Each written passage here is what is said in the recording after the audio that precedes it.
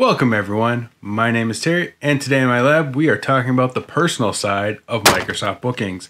That's right, Microsoft Bookings has two ways to deploy it. One, as an individual booking space for yourself, and then two, as a lightweight CRM that's just included with most Microsoft 365 subscriptions. In this video, we are going over the personal option. If you're saying to yourself, hey Terry, I really want to know about that lightweight CRM solution that you're talking about here. I don't have the time for Dynamics or Salesforce right now. Don't worry, I got you covered. There's a video linked somewhere around here and down in the description that goes all over that video.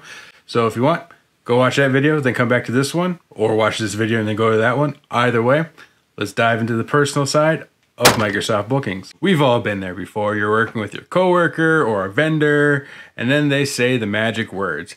Let's schedule a meeting to discuss some project or work. Then the dance starts. Send me some times that work for you. Okay, here's 15 times that I'm available. Oh, I'm sorry, none of those times work for me. How about this time? Nope, that doesn't work for me either. How about and round and round it goes. It's a minimum of three emails back and forth to get one of these meetings scheduled. And you might be thinking, hey, Terry, why don't you just take the lead? If it's an internal meeting, use the scheduling system and throw something on their calendar. And to that I say, even though we've survived COVID and back to back meetings for years on end, there's still a large group of people who insist on having meetings for everything.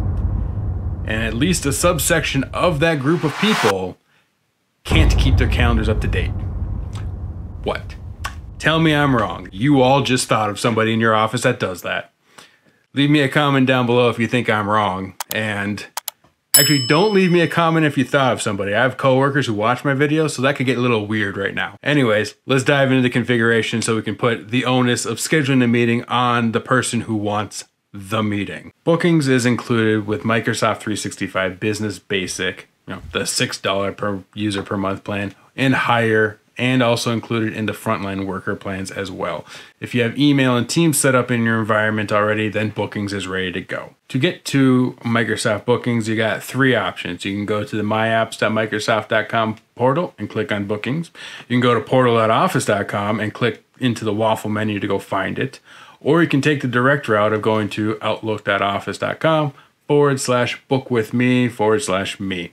Links to everything I just said will be down in the description below. After you configure your personal page, a app will show up in Outlook as well. So then if you need to make changes to your bookings offering, you can do it all from inside Outlook instead of going to the web browser. Once you're at the bookings page, you have two options, a personal bookings page and a shared pages. If you have pages shared with you and you just didn't know it yet, they'll be listed down there. Otherwise, everything about the shared pages I'm going to leave in that second video that I mentioned during the introduction of this video. Click on go to my bookings page to set up your bookings options. You have two options, public and private. Public options show to anybody that clicks on the link and are sign upable. Is that a word? Sign upable? Can be used by anyone who goes to that page. Private are only accessible via a link that you distribute either email or Teams message or something like that. Let's go through the process of making a personal bookings option as if you're a customer service representative trying to provide a 30 minute session to your clients. For the title, let's call this 30 minute customer session. And if you're the type of person who likes to color code things, you can go ahead and assign a color and then it'll stand out on your calendar. For description, let's say 30 minute ad hoc customer Q&A session, touch base or account review. In this example, we'll leave it as a Teams meeting for 30 minutes. Leave the public option selected. But if this is a spot where you pick the wrong type initially, you could change it instead of having to start all over. And if needed, you can double check your working hours as well. Working hours are pulled from your Outlook mailbox and you can update them as needed by clicking on the link. That is the basic config. There is advanced options here as you can see, but we will touch on those in a moment here. Now I'll run through the process of creating a private link really fast here. It's basically identical, so let's go through it real quick. After you save the private link, you have a couple of options.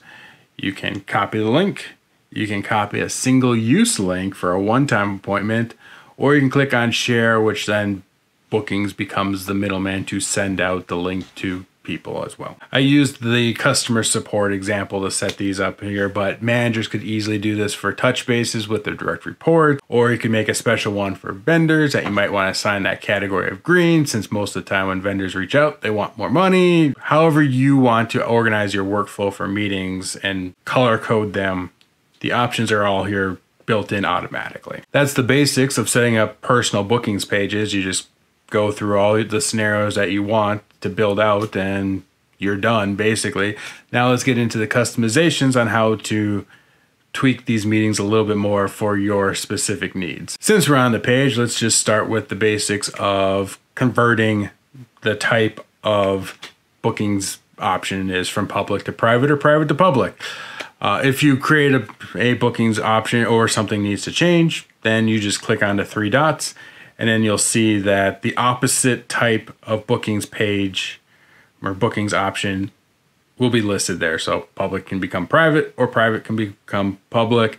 The advantage of just converting it is if you have any existing meetings or meeting histories, all that history and those pending appointments will just move with it versus having to reschedule items if you delete it. And then to add a touch of personality here, you can go edit your banner image as well. Microsoft just randomly picks one for you, but they do have 10 options available, so you can click the one that lines up best for you. Unfortunately, there is no option to add a custom one. And your profile picture.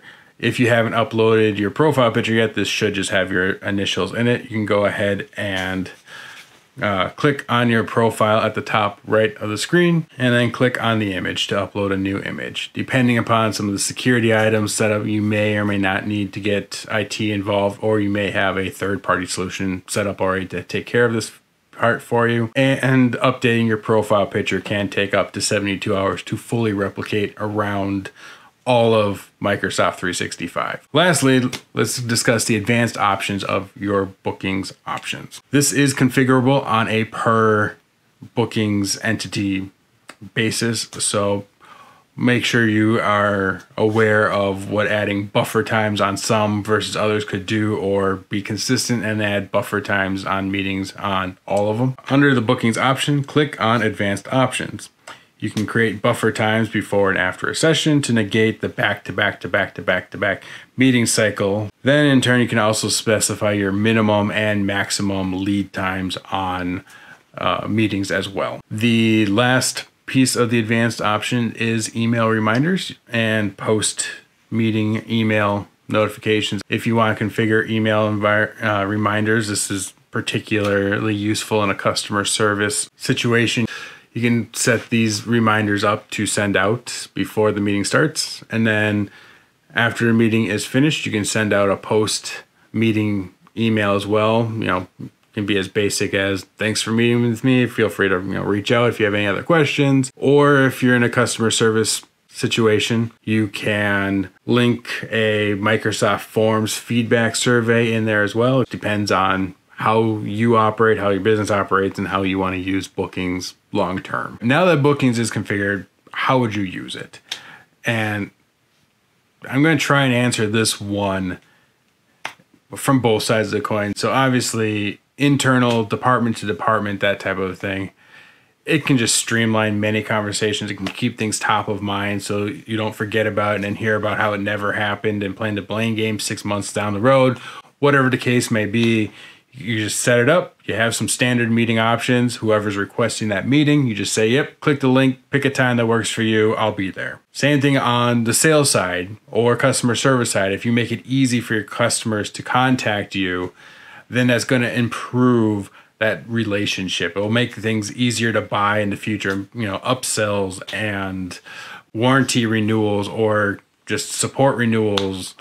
It is surprising how many companies are impossible to get a hold of outside of that renewal period. It's just mind boggling that double edged sword that some companies have.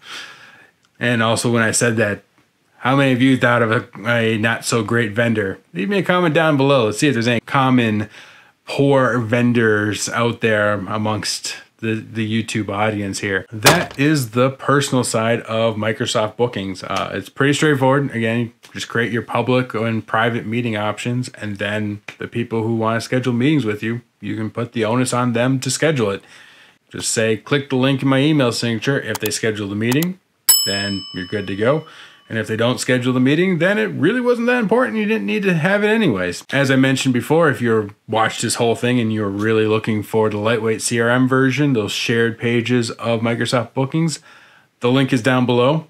Um, and if you watch this entire video and was looking for that, thank you. Uh, so if you enjoyed this video, please go ahead and give it a thumbs up and consider subscribing if you think I've earned it. And until next time, keep building.